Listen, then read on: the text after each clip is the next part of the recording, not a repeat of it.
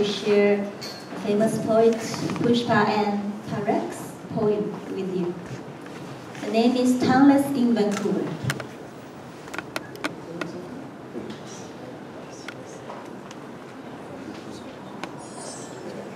I listen to the beat of languages and dialects, rolled on your tongue, fettered in the meshes of memory and crossings.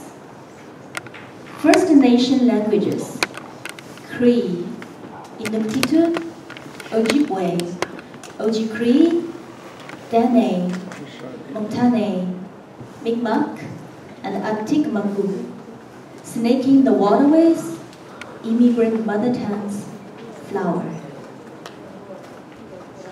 Punjabi, Cantonese, and Mandarin, fortifying immigrant labor.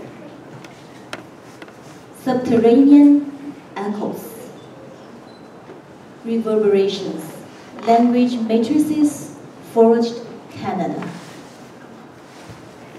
I listen to the beat and the rhythm of melange, from Noikas to Salish, to my ancestors from India.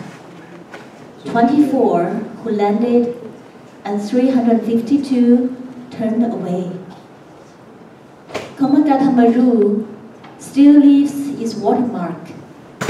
Tears cleave to Punjabi, catching my throat, and I'm tongueless in Vancouver.